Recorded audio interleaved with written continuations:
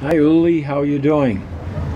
Yeah, I'm doing extremely well. I'm very happy.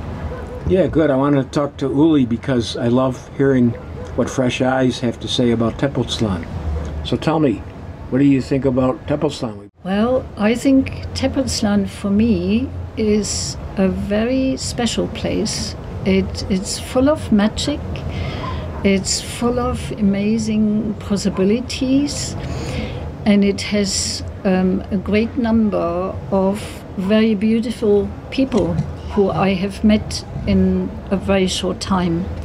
And the surroundings of the town is just absolutely fascinating. I love the nature around here the rocks, the trees.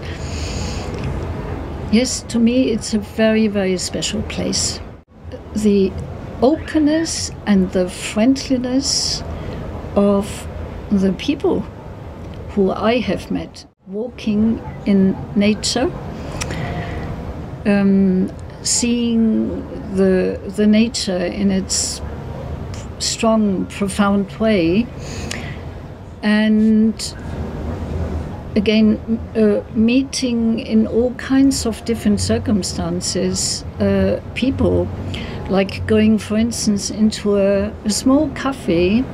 You only sit there for a little while, perhaps alone, and people walk in and sit next next to you or next table and you can start a conversation and that conversation can lead you um, all around the world basically so uh, it, it, it is that really um, Speaking of uh, all around the world, where did you come from?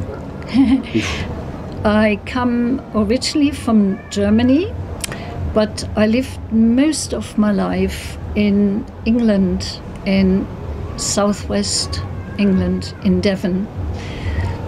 And I come from a town which reminds me um, of this town. So there are quite a lot of similarities. Lots of people come are attracted to this town, like to this town, Tepoztlan, um, for how I don't know how to put it, uh, exploring um, life in a new way, discussing with other people what can we do, and talking about new possibilities to um, get out of the restriction the society has put upon us.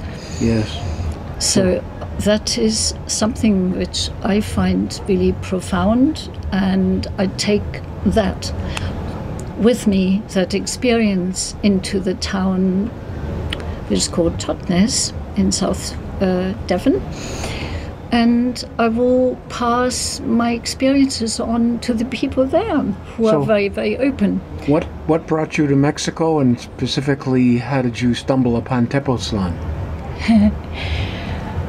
Well, I always had a wish to see a little bit more of the world, and somehow that was the right time.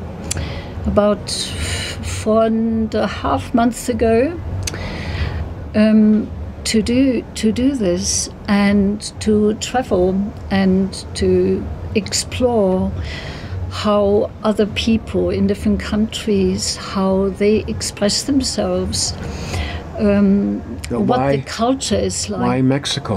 why Mexico? Because I heard quite a bit about Mexico before, um, and uh, people have been here before and came back, and they they were all quite impressed by the way the Mexicans function, the good and the bad.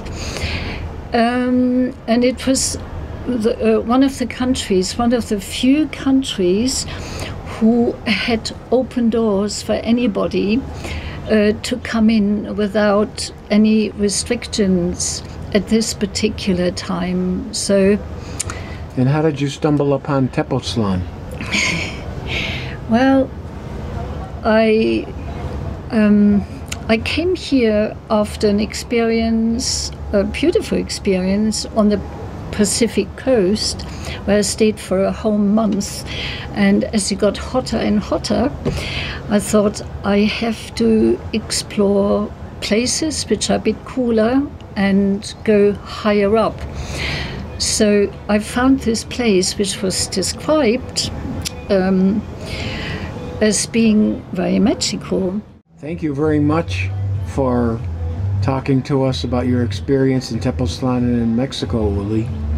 You're very welcome.